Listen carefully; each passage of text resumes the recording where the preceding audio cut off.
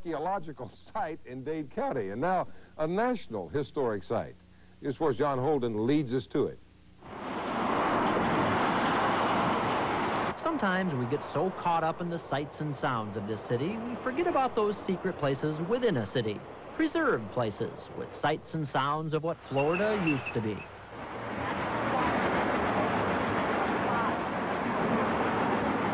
This is Arch Creek Park, one of the last enclaves of native nature left in North Dade. We're incorporated in the small eight acres, and even though only eight acres, there's a lot of nature that occurs here. And that's what Paddy does each day, guide people like me through the wonders of nature of Arch Creek.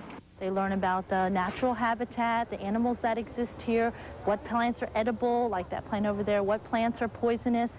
They can also come and do a dig, an archaeological dig.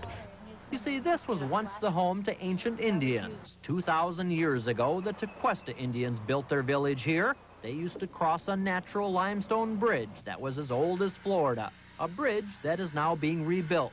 And it's here you'll find the first road ever built in Dade County. Its first industry also started in Arch Creek.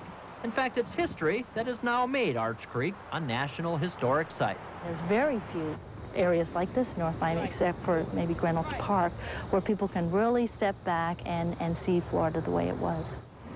And to think once upon a time, Arch Creek was going to be just like the rest of modern civilization around it. Yep, 15 years ago, this place was going to be a used car lot. John Holden, News 4. I didn't see any snakes. I thought they were